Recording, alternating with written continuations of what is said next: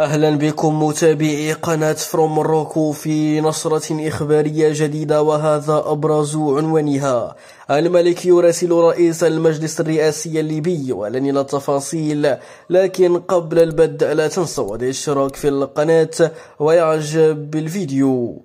بعث الملك محمد السادس برقية تهنئة إلى رئيس المجلس الرئاسي الليبي الدكتور محمد يونس المنفي وذلك بمناسبة عيد استقلال بلاده. وأعرب الملك بهذه المناسبة عن أحار التهاني وأصدق المتمنيات للشعب الليبي بأطراد التقدم والرخاء في ظل الأمن والاستقرار.